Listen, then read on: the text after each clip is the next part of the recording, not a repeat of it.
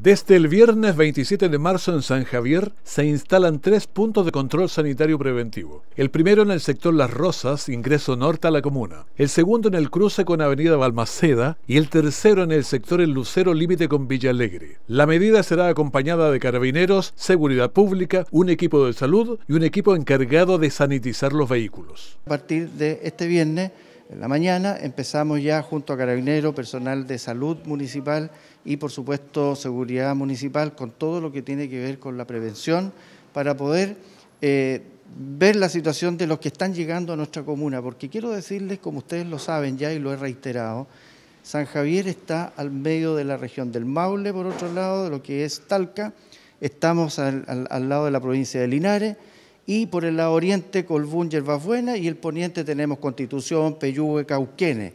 Nosotros en esta materia estamos sin ningún caso y esa es la prevención que nosotros estamos haciendo seriamente para poder controlar que no lleguen personas que ojalá que no anden con esa cuarentena y que están siendo controlados a nivel país. Otro asunto de preocupación para la comunidad sanjavierina es la falta de vacunas para un importante grupo de la población.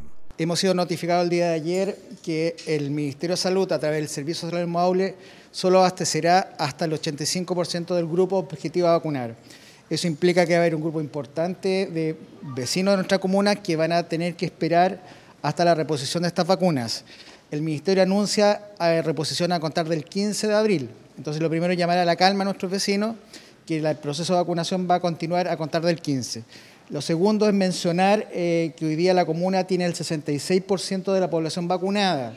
Eso también es una tasa alta respecto a los días de vacunación. Solo llevamos seis días y hemos vacunado casi 13.000 personas.